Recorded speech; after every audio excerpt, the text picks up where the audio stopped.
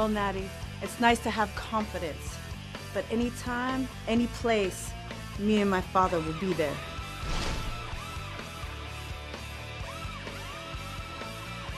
The favorite move that I adopted from my family, obviously, is the Superfly Splash.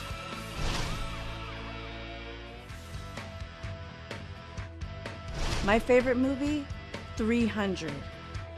Because like King Leonidas, he was fearless. And Tamina is fearless.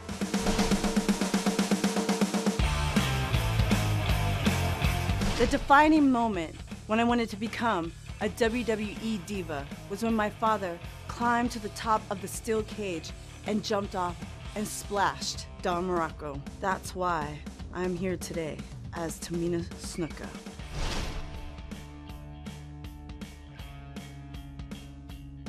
What kind of question is that?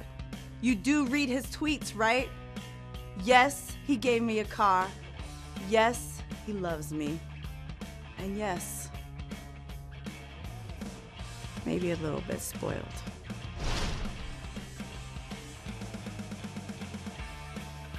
If I could team with any former diva, it would be Lita.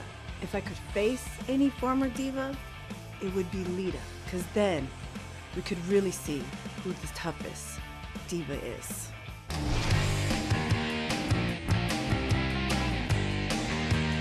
My favorite superstars growing up? Obviously, my father, Jimmy Superfly Snuka. Other family members who were wrestlers, but also loved Rowdy Roddy Piper.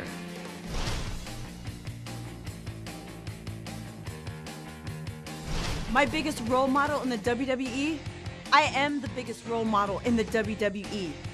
For the current divas now, and for the future divas to be.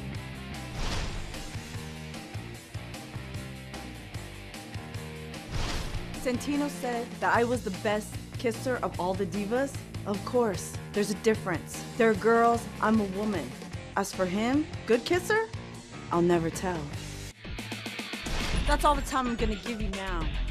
But the next time, come up with better questions if you want better answers.